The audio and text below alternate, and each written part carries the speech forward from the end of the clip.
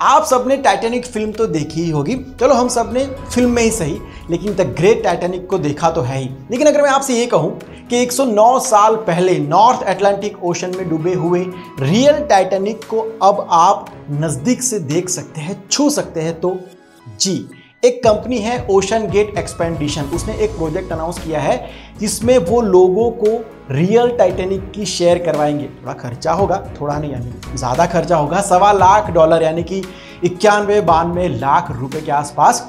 इसके लिए पहले लोगों को ट्रेन किया जाएगा उसके बाद एक्सपर्ट सिलेक्शन करेंगे। उस सिलेक्शन में भी पास होना ज़रूरी है क्योंकि भाई टाइटेनिक जो है वो समंदर के बीच में करीबन 12,600 फीट नीचे डूबा हुआ है। टांग लांग लांग लांग मैं तो जाऊँगा। मेरे बाप के पास पैसे बहुत है भाई। अबे!